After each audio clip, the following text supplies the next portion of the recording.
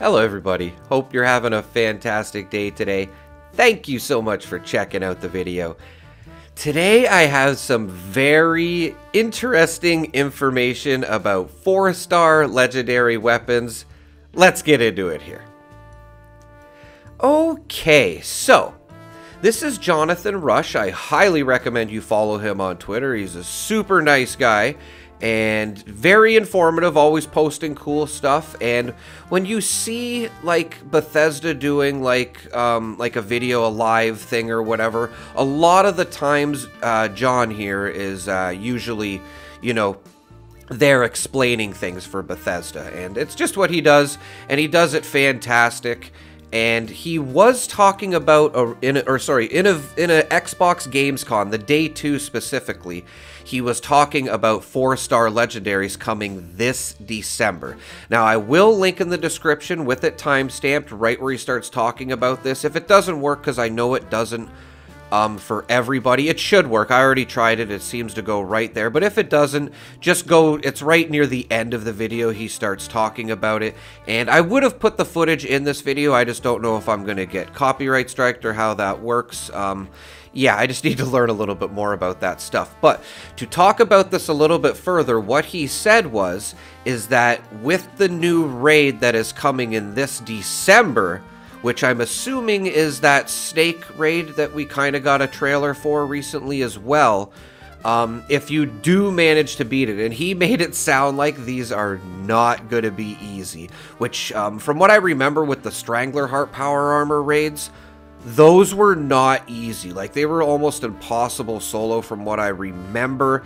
I was a fairly new player at that point, but I have to say, if it's anything like those, then it's definitely not going to be easy. And he does say at the end of them, you'll have the opportunity to get a four star weapon, armor, or, you know, regular armor, or sorry, power armor, regular armor, and weapons. So, this is absolutely huge. I think this will definitely, um, you know, keep us giving us something to do up until we're able to play as a ghoul early next year because we got the update coming early September and then um, which I'm going to do a video on as well. I'm going to let you know everything that's coming this September 5th, I think it is, or September 3rd, one of the two. It's coming early September, uh, new season and all of that. Um, and then the Ghoul 2025, like I was saying, it should be early 2025. And then this just squeezes right in the middle of it. So I'm guessing this is the following season. Can't say for sure. I don't want to speculate too much.